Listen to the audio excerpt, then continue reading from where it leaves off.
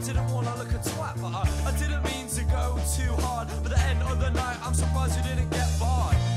Then it was straight on the bus. Didn't get in the back seat, but I didn't make a fuss. Cause a few hard lads were all drinking in the back, and they was looking at me like I was looking for a smack.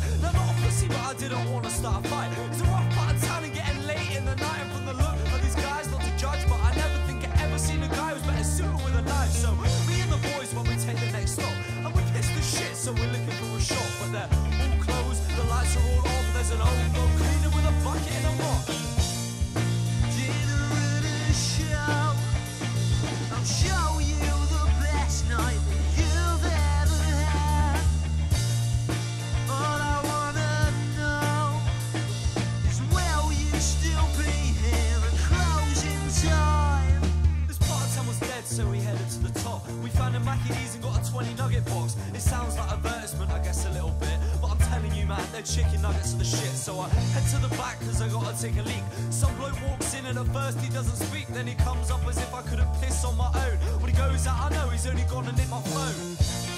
What a cheeky little prick. It had to be my pocket that he had to go and pick. Now I'm not a big boy, but I won't mess around when a lad like that starts taking the mix. So I, well, I chase him down the street.